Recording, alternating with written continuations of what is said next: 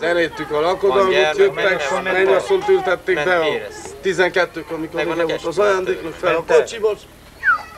Vitték a mennyasszont, reggel szegény vőlegény állott. Uram, most honnan fizessem ki a zenészetét?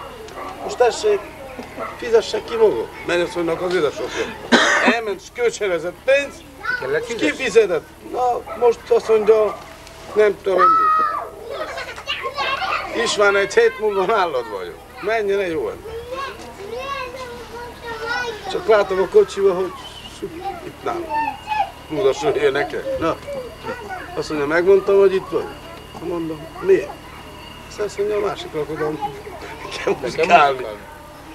Szegőt bevattuk? Nem vagy. Hát Balázs azt mondja, most kétszer, azt mondja, duplát fizetem is már, azt mondja, csak mentek. Ennyi.